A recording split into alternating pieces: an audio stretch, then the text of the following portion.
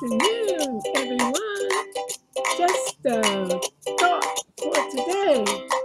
It takes both black and white keys on the piano to play the stars and the band.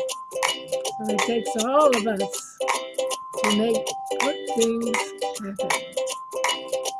Have a blessed day, Dr. G.